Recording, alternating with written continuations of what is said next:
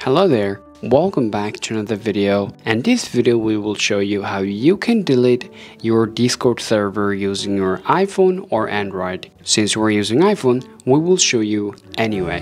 To delete your Discord server, the first things you're gonna wanna do is open up your Discord application by using your iPhone or Android.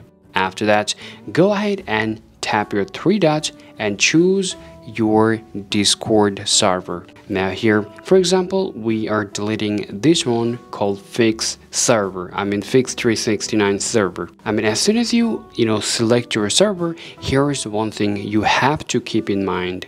First up, be sure that you are an admin for that server for being able to do that process because if you're not an admin for this server, sorry to say you won't be able to do this process.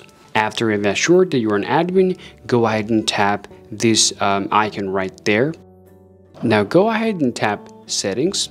Now scroll down here and then it will show you this option called delete channel. Go ahead and tap delete channel and then it will give you this prompt. Hit yes and then your Discord server will be deleted from your iPhone or Android. Alright guys, so this is how you can delete your Discord server using your devices. If you find this video useful, please let us know in the comment section and don't forget to subscribe to this channel. Thanks for watching guys and we will speak to you very soon.